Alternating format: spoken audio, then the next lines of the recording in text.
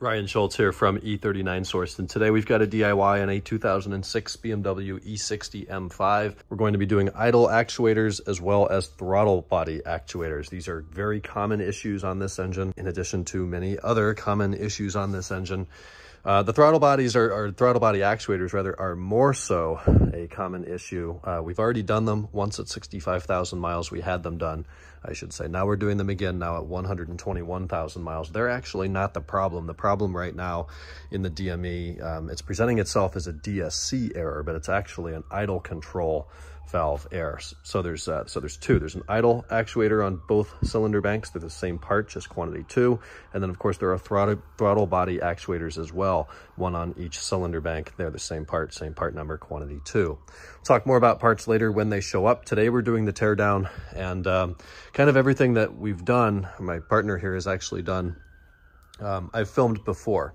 If you can't get to this point, having the upper air boxes off and the cabin boxes and cowling, you probably shouldn't attempt to work too far into the valley of the S85 here. In short, you're gonna need a series of flathead screwdrivers, 10 millimeter and 13 millimeter sockets, there's a little piece in the middle that slides to the left or right to get the cowling apart. Then you do also have some Torx 20 bolts that hold in the cabin boxes to the strut tower right there in that hole and matching on the passenger side of the vehicle. There's two electrical connections on the passenger side, one for the AUC sensor and one for the hood switch. Real simple type, you just squeeze that tab and pull them off of the sensor and then leave the wiring hang. And the cowling looks like this. And these little plastic things are 13s and they only turn about a quarter turn loosen and then a quarter turn tighten. And it's got this little pivot swing arm here that just slides under and locks them into place. So you have one that connects the two pieces together, two here after you release the, uh, the clip here and, and the cabin filter, third back there, and then it's the same on the passenger side. Regarding the air boxes, there's a series of clips around the perimeter. I believe there's five on each one, so you will need a flathead screwdriver to pop those out. The mass airflow sensors disconnect, and then we just have standard six millimeter or flathead screw hose clamps holding the um, ductwork here onto the intake plenum. We will also need to remove the covers over the ionic modules here.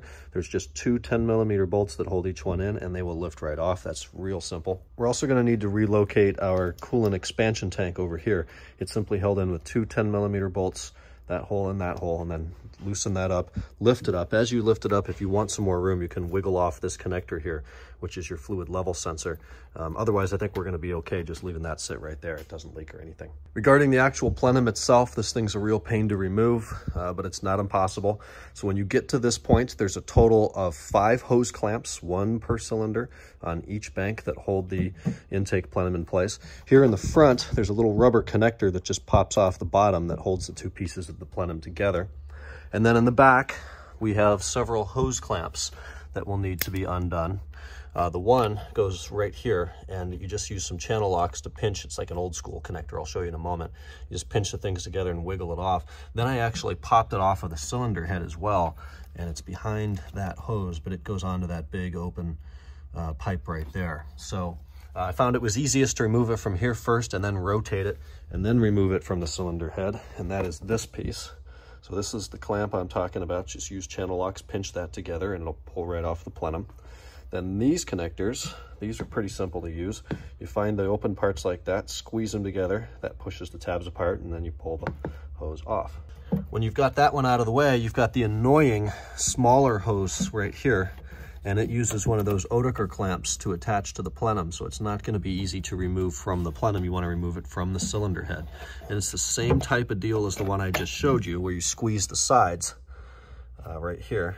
It's just very challenging to get down there and, and do it. And I, I found that um, tools don't really work or fit very well. So you're best to kind of lift the plenum up a little bit, and then that will allow the pinch points to rotate so you can get in there and actually squeeze those together and pull off.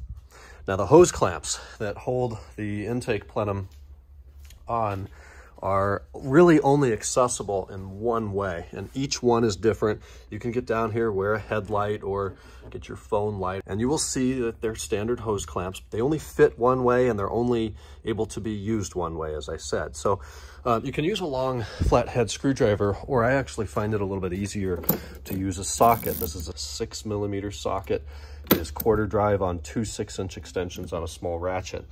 And uh, that's a little bit easier to get onto the hose clamp without worrying about it sliding off. So some of them, in fact, cylinder, I think it'll be cylinder number two, you can just see the hose clamp hiding in there. It's horrible. Let me try to orient the light a little bit better. There it is. You can just see it back there. The camera doesn't want to focus on it, but there is the hose clamp. So I actually put the tool through this hole. This is an engine hoist lift point hole. So feed the tool through there, then you can just get it on there and loosen it. Cylinder one isn't bad, cylinder two isn't bad. Cylinder three, you've got to come in from the side. There's a bit of a cutout. Four and five back here are a real pain. I think we actually need, I will need to shorten the extensions on the tool and come in from the back, back behind these. Uh, this is the DME wiring harness here. So there is a way to get each one, just loosen it about three turns, get the hoses disconnected, and then pull up. The plenum will come off. In fact, this one might be ready to go. Um, also important to note, there's another hose here in the front. It's the same deal. You pinch the sides and wiggle it off of that pipe right there. And you can see the actual throttle bodies, and here's all these hose clamps on the intake plenum. On the back of the passenger side, we have the wiring harness that pops into the plenum. It simply will lift up. It has a post or two in the bottom, like a peg that pushes down into a uh, bit of an acceptor, a, a, a hole on the plenum. So we'll want to lift that up, push it back and out of the way before removing uh, bank one. Lastly, all the way at the back, we have two more small hose clamps. This one appears to have been broken before. Um, we can see bank one right here. So again, we'll just squeeze the top and bottom, pinch and pull them off. The most difficult part here is on cylinder bank number one, all the way in the back. We've got to remove that hose and this hose. This hose is the hardest one.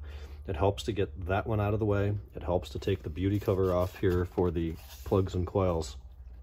And then you pretty much just need to make sure you've got all five of these done. These last two, you kind of come in from the sides uh, you need a short extension on cylinder five and a longer extension. I used a 12 inch extension on cylinder four. Then you can lift the plenum kind of up and out of the way, buy yourself a bit more room to get back here. Try to squeeze those two things together and pry it off. It just sucks and it takes forever. With that done now, we can see throttle body actuators and idle actuators in here. We are gonna need to kind of relocate this wiring harness and disconnect a whole bunch of stuff to move it up and out of the way seeing that all four of these actuators are down in the valley. So the wiring harness has to all but be removed from the valley of this engine to access the four actuators down there. Uh, there are multiple connections, one on each throttle actuator, one on each idle actuator. We have two up here in the front. You just pry these tabs up and pull the connectors out. These are the same connector, so put some tape on one and label it as the right one or the left one, however you want to do that. There's one on the left, so you don't really need to label that. The ionic modules have the uh, normal BMW connector here where you slide this whole locking tab out and then pull it up and off of the module. We'll do the same thing over here on bank two. Then you're gonna find a bevy of connections in there. Uh, anything that plugs in, unplug it. They're all different. There's a couple, like uh, there's a temp sensor down here on the cylinder head that, uh, like an E39, it just has the, the springy metal tab. You squeeze it and pull the connector off. Uh, there's a bunch that just look like this and then have the little tabs on the side. You squeeze them together and pull them apart. All of these plastics are going to be incredibly brittle because they're living inside the V on a V10 engine that probably has miles on it um, at this point. So just be careful. Um, if you do break a couple little plastic things, it's probably going to be okay. Just make sure everything goes back together well. These connections will be sensitive to vibrations or coming undone if, uh, if not tight. The wiring harness box itself is attached in two places. We have a bolt here in the front that attaches to the thermostat housing. Uh, so we're going to want to take that out. I believe that was a 10 millimeter bolt. And then in the back, there's another 10 millimeter fastener. This time it's a nut and it's located right about here. I would use quarter drive tools. It's difficult to get in there. It's very short. You, you will need a three inch extension and a 10 millimeter socket. Um, if you don't put anything sticky in the socket, you're gonna loosen the nut, then you're gonna take the tool away and the nut's gonna fall back down into no man's land. And you do not want that happening. So actually what we did was use a small piece of clay bar, like detailing clay bar, and put that in the socket and then put it down over the nut and, uh, and loosened it. And that way the nut stays in the socket when you take it off. If you don't have any clay bar, hell, a piece of little piece of chewing gum would work or a piece of shop towel, anything kind of sticky and like clay or Play-Doh. A quick note on which nut back here for the back of the wiring harness. So if we stick the phone back here in the middle and look down, we see that one. That is not the correct nut. We move to the left towards the passenger side of the car, and it's that one. So just keep an eye on this wiring harness. Anything that anything that uh, you see is holding it back from being lifted up like this, anything that's plugged in, unplug it. We're not going to be able to remove the entire thing, seeing that, of course, it is part of this box and then this hose that goes into the DME box, and we really don't want to tear all that apart. So at this point, we're not. Uh, the rest of the wiring harness, of course, connects to each fuel injector. So there's 10 of those. Each coil pack, there's another 10 of those. Cam sensors, there's two on each bank. Um, and again, all of this is very, very brittle. So I fear we're going to have to be, it's going to be at least a two-man operation. Somebody's going to have to hold this up and out of the way while we work down there. So these two things in the front are the throttle actuators. So over 3000 RPM, the throttle actuators take over and actually open these butterfly valves to allow air into the cylinders. Uh, below 3000 RPM, it's your idle actuators that are doing the majority of that work, and they're in the back. Uh, that's the problem on this car is the idle actuator on bank one. It's intermittent. As I think I mentioned before, it throws a DSC fault, but then it goes into limp mode. You make no power, 5,000 RPM red line. Throttle's not sharp anymore. It's miserable. Uh, this engine loves to shut itself down at the first sign of any trouble. So let's take a look at the parts. They just arrived. I've got them all laid out over here. We're going to replace the hoses these two hoses. This one is a short one, and then we've got a longer one. I'll have all the part numbers in the description below this video. Those two hoses are these. They snap into the wiring harness here, and then they attached, as you will recall, on the bottom of the intake plenum, one for bank two and one for bank one. And these actually go back to the idle actuators themselves. Uh, it's good practice to replace those. Uh, we got to look in here with a light, and there is some cracking in the rubber. Uh, they're simply held on with a normal hose clamp down there, so that's nice. So we'll just take those off first, and your short one is bank two, obviously. It's just going to here. Uh, so we've got those two hoses and the hose clamps that attach them to the idle actuators. And we've got these profile gaskets that will go on the idle actuators themselves. Those three holes on the perimeter there will match up with those three holes. I ordered four, thinking that these would use them too, although I don't see anywhere where there would be that sort of a gasket here. So maybe we only need two. Uh, again, check the description to be sure. And then of course your two throttle actuators and your two idle actuators. Again, all part numbers down below. And these are nice and fresh. It looks like the build date here is, uh, is November 5th of 2018, so they're just two years old. Uh, they've been in a box since then. There are some aftermarket alternatives to these things. So the actuators themselves electronically seem to be pretty stable. The linkage itself seems to be fairly stable. It's the gears inside that drive them are plastic. BMW decided they wanted to save a couple of pennies by using plastic gears. And uh, over time, those get hot, they get brittle, they strip, you might lose a tooth. Um, and, and that's what the failure is with these things. Now, you could probably machine an aluminum gear or something like that and rebuild them yourself, um, or just replace them and buy yourself another 65,000 miles before they will inevitably fail from the same cause. On the bottom of your plenums, both pieces, I'm trying to pick this up with one hand, um, you have these five little rubber boots that seat down over each uh, throttle body there.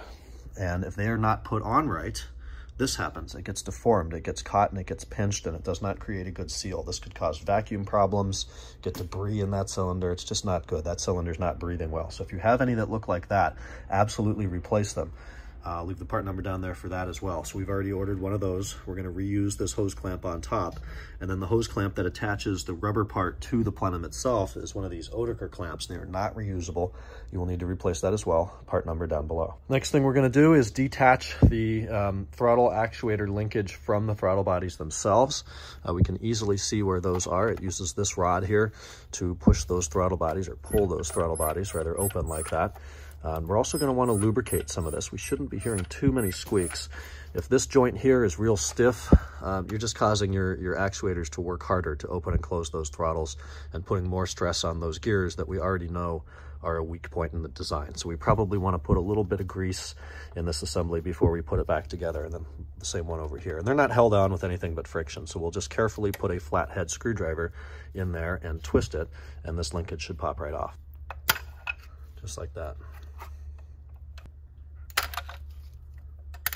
Try to get a look in here now at the three 10 millimeter bolts that hold the actual throttle assemblies, throttle actuators into the car. So we can see one right there. That is uh, one of the 10 mils. There's gonna be a total of three. We can actually see all three of them there in a triangle formation. Uh, so we'll loosen those and we've already got it unplugged and then we'll just wrestle this out of the car.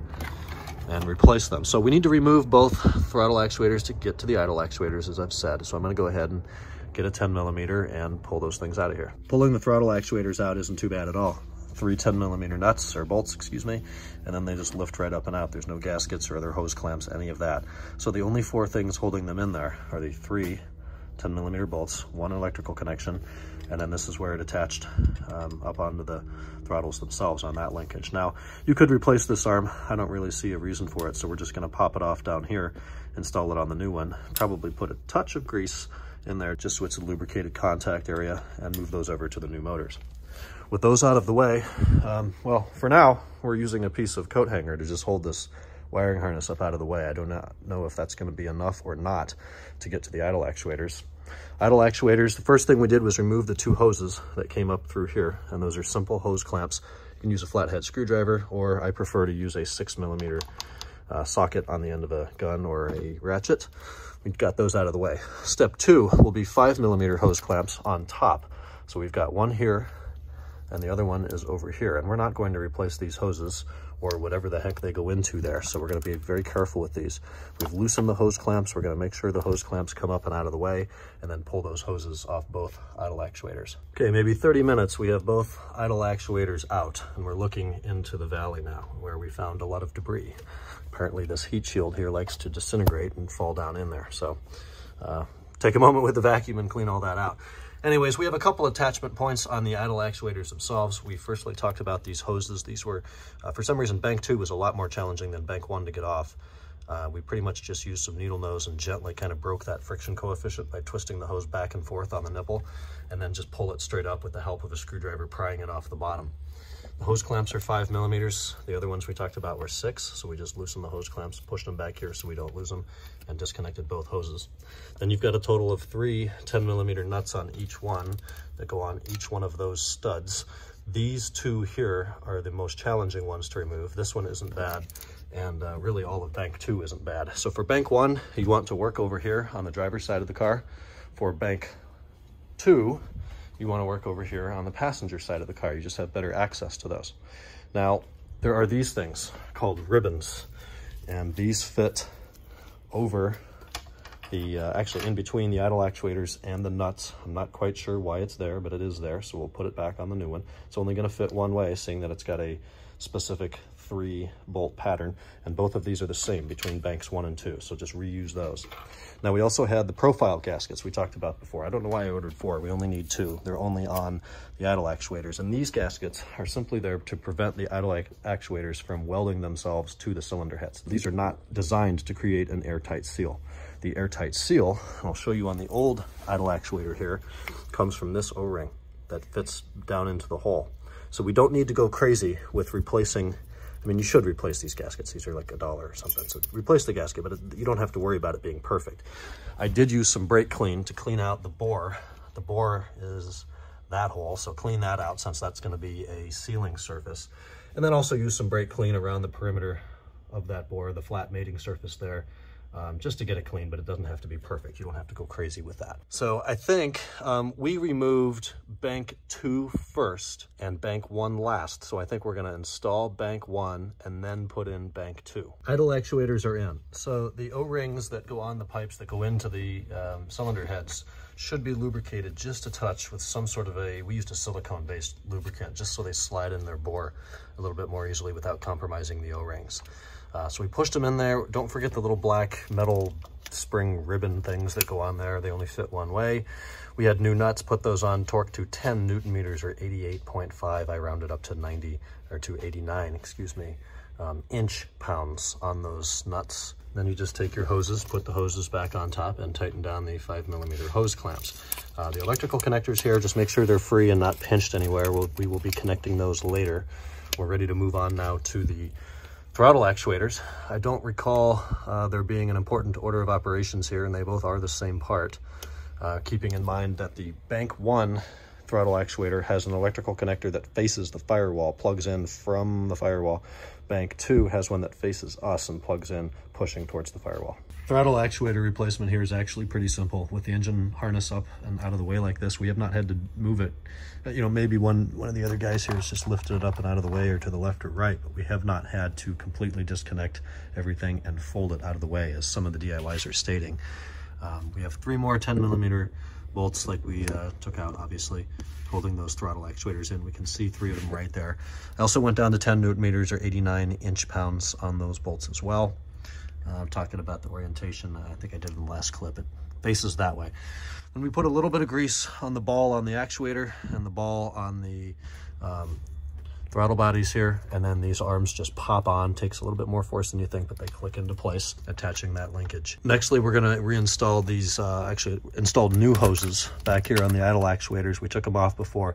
One will go here, the other one will go here. The longer one goes on bank one, the shorter one on bank two. Quick look at the hoses. I oriented the hose clamp over here on bank two to face the back. Uh, drove it with a six millimeter socket. It goes right into place.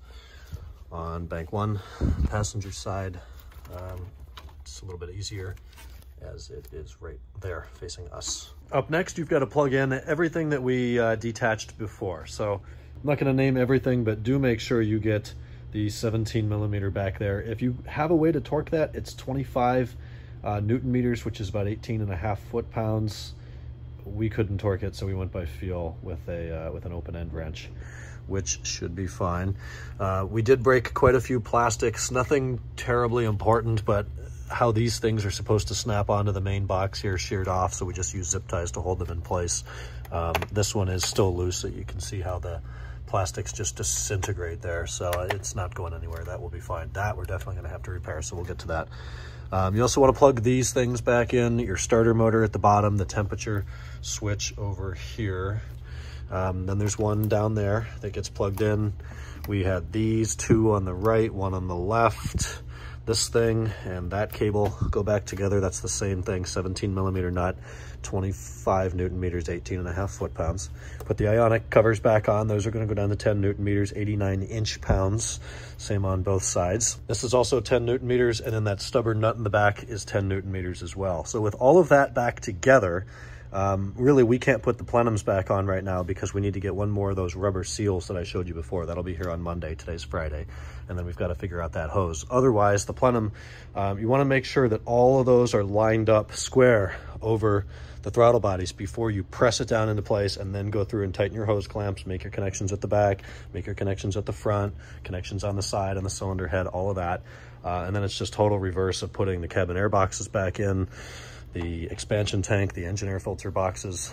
Um, two notes, when you put the engine air boxes back in, make sure you rescue this first. Move it out here out of the way. If you put it in there, it'll get stuck and then you won't be able to plug your MAF in. Ask me how I know. I've made that mistake too many times. A similar mistake can be made with the idle actuators. The electrical connections for the idle actuators should be pulled up and made accessible before you put the throttle body actuators in. Once the throttle actuators are in, um, you lose a lot of space down in that valley. And uh, if you do what we did and forget to free those uh, idle actuator plugs, then it's just kind of a pain. And you got to fish them out. And you got to be careful with them because they're new and they're expensive. So just make sure you pull them up and out of the way. Otherwise, I'll level with you guys. The throttle actuators and the idle actuators, uh, just replacing them themselves, not a problem at all.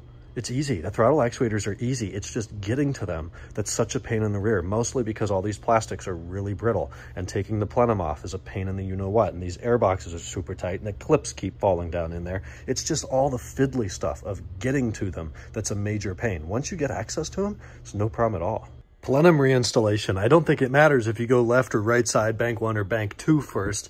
Uh, whatever one you do first will be the easiest because you're able to look down here and actually see where those hose clamps go around the throttle bodies. And what you want to do, uh, I kind of showed you before, you do not want to pinch that rubber and then have an open part here, sucking in air from your hot valley. Um, that's not ideal. So just be careful, get it lined up. Uh, one thing to do when guiding it in here is make sure that the smaller hose, not the big one, but the small one goes underneath this. And then it's just gonna press back press right back on into place. You can remember how long that thing took to take off. Um, putting it back on is about a quarter of a second. You line it up and pop it into place. Same thing back there. Uh, with these hose clamps, I replaced the bad one replace the connector on the one that was damaged and it just pops back into place. So two hoses on the side, one on the back, the one, don't forget about the one in the front underneath. It'll be this one that's ideally supposed to be popped in right there to the wiring harness. And then get your six mil and your extension, go in there and tighten down all those hose clamps. If you use a wrench, it's uh, it's easy to over torque those, so don't go crazy. Remember, usually people torque those with a screwdriver and you have a lot less leverage. All right, guys, we're back together. The rest of this here is pretty straightforward. Uh, the first half of the plenum, doesn't matter which one you do. I did bank two. That's going to be a bit easier, as I said before, since we can see those hoses. Uh, it's not the case over here, and the angle's a little bit different when you put that second piece of the plenum back on. We did use a little bit of a lithium grease just to put some lubricant um, on the bottom of the plenum on each of the five rubber seals that goes down over each throttle body. And I think that kind of helps um, seat it on there so it doesn't kink or get caught. If you really have to use a lot of force to press the plenum down, um, it, it's not right and you're gonna end up bending or kinking or damaging one of those rubber boots. So uh, it should go on fairly easily. And then it's just a matter of putting everything back together uh, same way it comes apart. Don't forget to keep your MAF wires up out of the way uh, before you put the airbox, the lower airboxes back in, otherwise they will get caught. According to the BMW TIS, there is a uh, procedure that must be carried out after installing new throttle and idle actuators to uh, initiate them. That is not the case. We did not do that, and the car's been driven about 200 miles since then, and it's working just fine. No more codes, no more problems. As I said earlier in the DIY, um, the, the hard part is just really the worst part is fighting with the air boxes and the expansion reservoir and then the plenum hose clamps. And these two back here uh, with the cowling off you're coming in kind of blind from the side. You actually can't see one of them. You've got to go by feel. That's the fiddly stuff. Doing the idle actuators and throttle actuators themselves are not bad at all okay be sure to check out the description below this video for a link to buy these parts for the part numbers as well as any applicable torque specs. Okay, that's going to do it. That's the end of the throttle actuator and idle control actuator on the S85 V10, of course applicable to the E60 M5 and E63 and E64 M6 2006 through 2010. Thank you for watching this one. I'll talk to you guys in a future E39 source video. Stay healthy.